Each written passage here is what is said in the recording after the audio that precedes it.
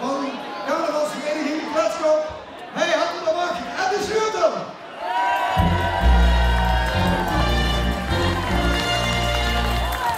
Vrijdagavond droeg burgemeester Leers de sleutel van Brunsum over aan Michael I. De prins heeft het wel naar zijn zin met zijn draaigestieren. Ja, geweldig. Tot nu toe geweldig. Absoluut. Jullie zijn met z'n drieën, waarom? We hebben een draaigestieren, hè? En lekker zo, wat dat betekent. Leg eens uit wat dat betekent. Vraag het ze zelf. Wat betekent de jonkvrouw? En leg eens uit. Ja, leg eens uit. Eh, we zijn een draaigestier, de derde draaigestier van Brunsum. En eh, oorspronkelijk komt dat natuurlijk uit Kullen.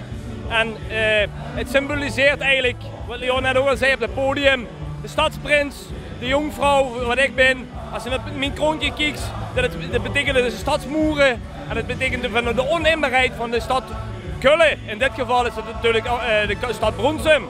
En onze stoere uh, bouwer die daarbij is, die waakt gewoon over de hele stad Brunsum op dat moment. Dus dat heel, heel in kort even in. Over even naar rechts van de bouwer. Is dat een beetje moeilijk om die man een beetje het gareel te houden? Nou, ik moet zeggen, dat geeft me goed af. Uh, ik heb een beetje overgewicht en dat kan ik gewoon op die lui afbrengen. Af, uh, dat geeft, me, geeft me echt goed af. Ik hou angst verwacht, maar het gaat goed. Ja. Zien jullie elkaar heel vaak deze tijd. Is dat wel op te brengen zo met die mannen onder elkaar? Ja, heerlijk met die twee. Liefst elke dag. Lekker een beetje feest vieren in Rondsom en een parlerie, dat gaat ganz goed. Ja, ja. En dat is natuurlijk ook zo, hè. We stonden normaal, maar zondags ook om op het veld. We voetballen alle drie bij de Leeuw. S'avonds onze vlagger, vier stonden in de spits. Dus we weten door en door wat we op elkaar hebben. En daarom weet ik zeker dat, dat dit seizoen nog een extra krachtje bij gezet. Veel plezier nog, hè? Dankjewel. Super, dankjewel. De carnavalsrood deelt ook ieder jaar rond de carnaval de parelorde uit. Dit jaar kreeg Jimmy van Dijk deze onderscheiding op een voor hem wel heel speciaal moment. Ik weet in ieder geval dat net uh, mijn zoon geboren was. Dus het waren even heftige dagen. En waarom heb je hem gekregen? Leg nog eens het kort uit.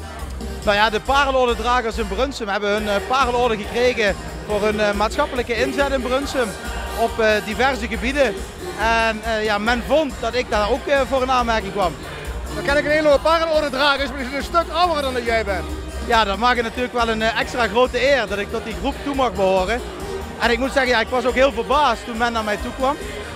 maar ja, niettemin is het natuurlijk wel ontzettend leuk als je dan die parelorde krijgt. Dus ik voel me ontzettend vereerd. Um, en ik denk dat het vooral een parelorde is dit jaar die voor heel veel jongeren in Brunsum, met wie ik samen heel veel dingen mag doen, uh, ja, zeg maar een soort aanmoediging mag zijn. Voel je je ook een beetje verantwoordelijk om dat door te geven aan de jeugd? Van jongens, jullie moeten meer voor de maatschappij en voor de verenigingen doen en zo. Nou ja, ik denk dat dat zeker zo is. Um, en ik denk ook een van de initiatieven natuurlijk waarvoor we de parelorde hebben gekregen is uh, Carnaval Radio. en bij Carnaval Radio hebben we altijd het idee gehad jongeren hebben de toekomst. Wij hebben ook altijd geprobeerd om als jongeren zelf natuurlijk de carnaval in Brunsum levendig te houden.